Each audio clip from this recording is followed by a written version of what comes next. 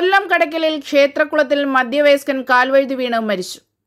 ഇന്ന് പതിനൊന്ന് മണിയോടെയാണ് സംഭവം. ആൽത്തർമൂട് ലക്ഷ്മി നിവാസിൽ അറുപത്തിയഞ്ച് വയസ്സുള്ള തങ്കപ്പനാണ് മരിച്ചത്. വയ്യാത്ത ആളാണ്. കുറച്ച് എനിക്ക് ഒരു മാസം മുമ്പ് അറ്റാക്ക് വന്നു.